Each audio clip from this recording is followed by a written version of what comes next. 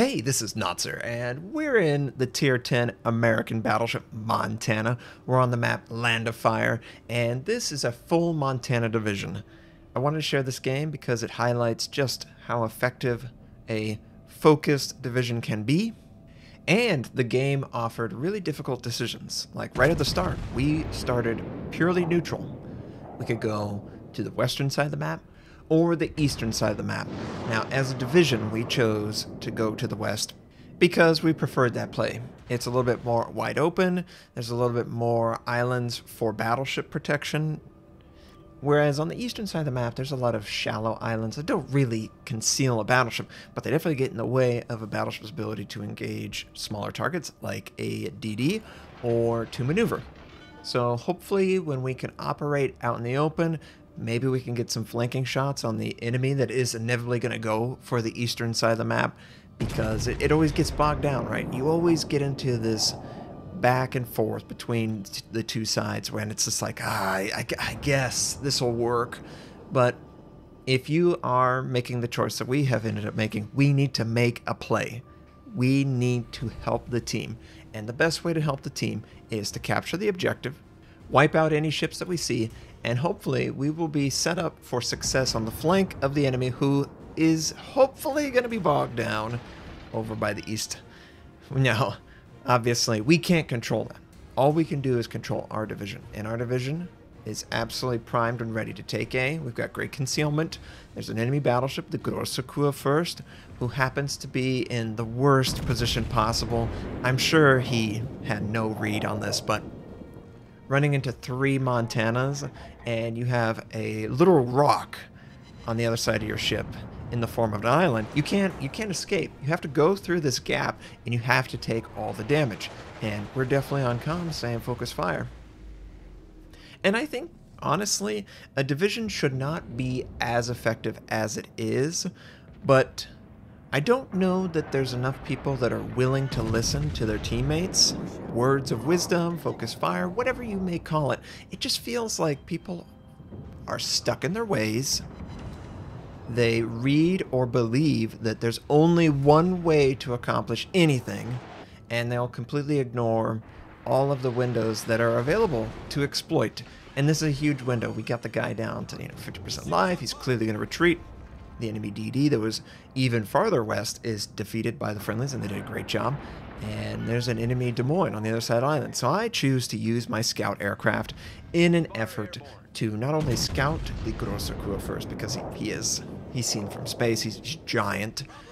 The aircraft is definitely going to detect him, but I also want to have an idea of where the Des Moines is, and every once in a while you'll catch sight of some shells landing in the island. Clearly he's trying to engage something, maybe me, but we're also going to focus on capturing the base because that's what a good team does. Too many times I see players who just refuse, absolutely refuse to take an objective. Could I, you know, decide just sail right through, don't care? Yeah, but if I take 5, 10, 15 seconds and just capture the base, it's going to end up being the most convenient for my team. And that's more important than my personal success. Okay? If more players were more willing to give up 5, 10, 15, 20 seconds to do the best objective play, then maybe the team would have more success in general. You know, there's too many games where I see like nobody's captured and it's 10 minutes in, 12 minutes in, 15 minutes in. It's like, what what are you guys doing? DD's going off, doing whatever they want. Because our DD was on the west, and because of the way the deployed enemies ended up being, there was a window for the battleships to actually capture the base. And I know that might blow everyone's mind, but it's not terrible to do something that isn't normally what your role is. But we're moving forward. Friendlies are trying to either force the Des Moines to stay stationary, retreat, or something so he doesn't have the island blocking line of sight. I decide I'm going to move forward. We know that the enemy Grosser Kurfürst is going to try and retreat, obviously, and it does look like he has turned into a more aggressive approach. And every you notice I'm looking to the east. Des Moines is behind cover. Grosser Kurfürst is behind cover. there is something that is unspotted that is within my sphere of detection. This guy's totally going wiped out. It's a DD. There's clearly a DD that is out there. The one DD left on the enemy team, and I give that call, and sure enough, a friendly is fortunate enough to catch him out, and I'm trying to rotate my guns before the Chungmu can go in a smoke. At least we know he's a smoke build. At least we know he's a smoke build. They haven't nerfed the smoke. So that means he could stay in smoke until the end of time. You know, the time in the game. But I'm moving forward. Decide not to fire my gun. Remember, when you fire your gun, the bloom goes through the smoke and he can easily see it. So you have to choose when you do it. And I get just close enough to the Grosser Kurfürst that his hydroacoustic spots me out.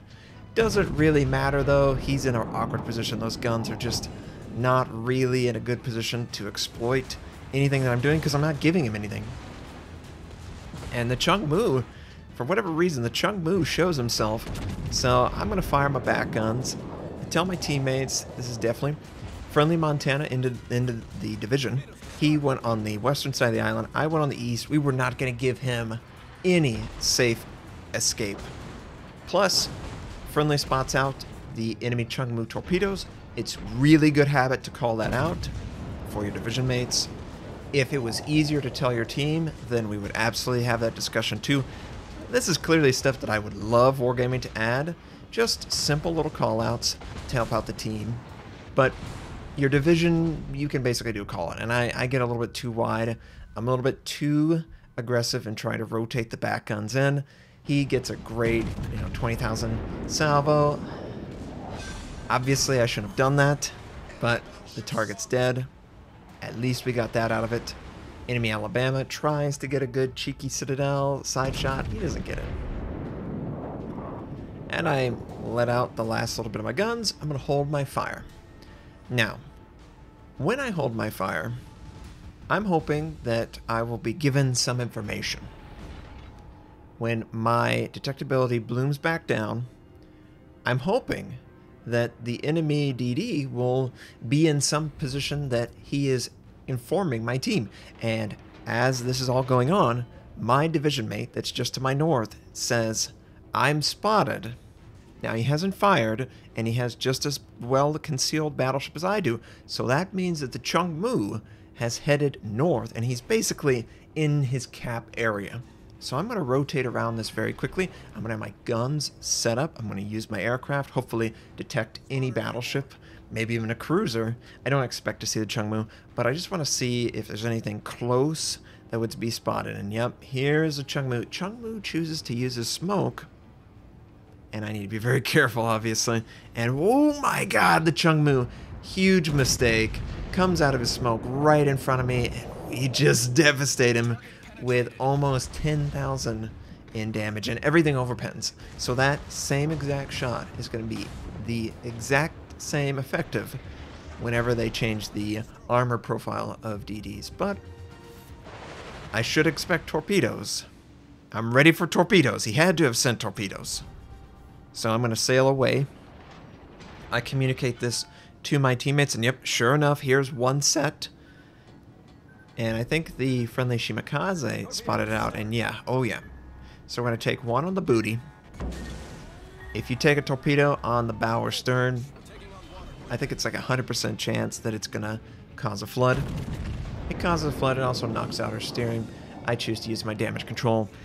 That's when you need to use it. And we get a weird Citadel. That was a weird angle to Citadel, that enemy battleship, but I'm not complaining.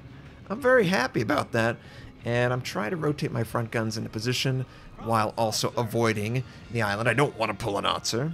I would like to just kill this target because he's perfectly broad. And oh, I wish my guns were ready. First set gets ready, second set is rotating into position. Friendly Shima is point blank torpedoes, and he is absolutely going to kill that guy. But we get a little bit extra damage right before it goes. And it looks like a, a game where the eastern flank fell. The enemy team was up a couple ships. We ended up doing exactly what we needed to do. We quickly controlled the objective and then we pushed together. Taking out that DD was really important. And that's one of the things that a division can do that a solo person cannot. A DD will probably never be caught by a battleship in a 1 versus 1, but if you get 1 versus 2, 1 versus 3, you will find some angle that he just cannot stand up to, and someone's going to get a shot. And I just happened to be fortunate enough that the Chung Mu had no idea that I chose to go back around the island. I don't think I was ever spotted moving back into that position, and we were able to wipe him out, right? Or contribute to wiping him out. So I love this game because pretty much everything that the division set out to do was successful for the team. We chose to go to the west. Now, we could have gone to the east and bogged down with the enemy. Probably wouldn't have been as successful, in my opinion. But we captured the west, wiped out enemy ships that happened to be in the area, and then we kept moving forward.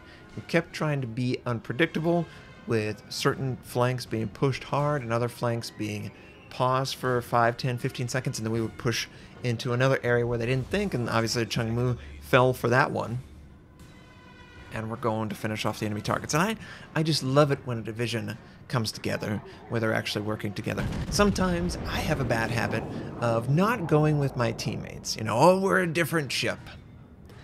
Every single type works pretty well together, even in aircraft carrier. Obviously, you don't want to focus following close behind, but aircraft carrier can spot for a teammate who is in a division and say, hey, I'm going to keep him spotted, just focus him down if you have a DD, he can scout in front of you and potentially run into torpedoes or the enemy DD himself. Same with the cruiser. Cruiser can protect you. High DPM. The battleships want to get forward a little bit to take a little bit of that damage pressure off of the cruiser and allow him to just do what he does best damage. And in this instance, we were three battleships. Everything was going to die very quickly under our focus. And that's what happened. So I really enjoyed this game. I hope you did as well. Obviously, the Montana is a real pleasure. I was uh, I didn't know who asked it, but someone in the Q and A session asked, "Would you consider buffing the Montana?" I don't think the Montana needs any buffs. I think she's just right. She's beautiful. Her 12 guns are fantastic. A's off the charts, and I've had a lot of success in her. I hope you enjoyed this game. I hope you uh, not not a long game, obviously, I hope you have a wonderful day, and I'll catch you next time.